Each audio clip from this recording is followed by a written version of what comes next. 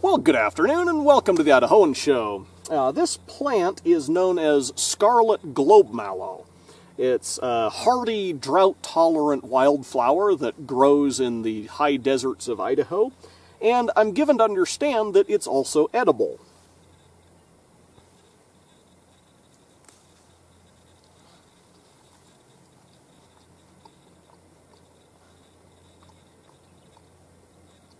In fact, it actually tastes almost identical to okra. Uh, it has kind of that same uh, mucilagenic or almost slimy texture to it.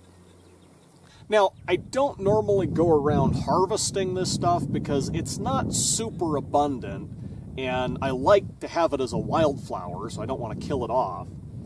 But just this once for the record, I thought it might be interesting to selectively harvest some uh, stems from these plants and actually bread them and fry them kind of like you would fry okra and see what it's like.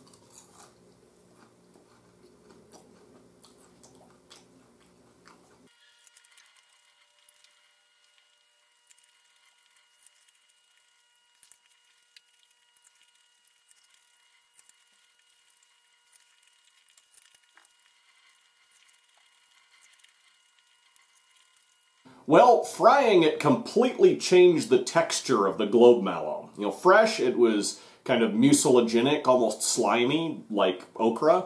Uh, but once it's fried, it becomes so light and crispy that it practically turns to powder as soon as you bite into it. Uh, that said, it still retains a very you know, mild, sort of okra-like flavor. Um, so I think I've discovered a new delicacy, uh, but this was definitely not quite what I was expecting. Down at the very base of the stalk, uh, sometimes you will get into some pretty woody fibers, but uh, for the most part, uh, like I say, it, it is very light and crispy and just kind of disappears in your mouth.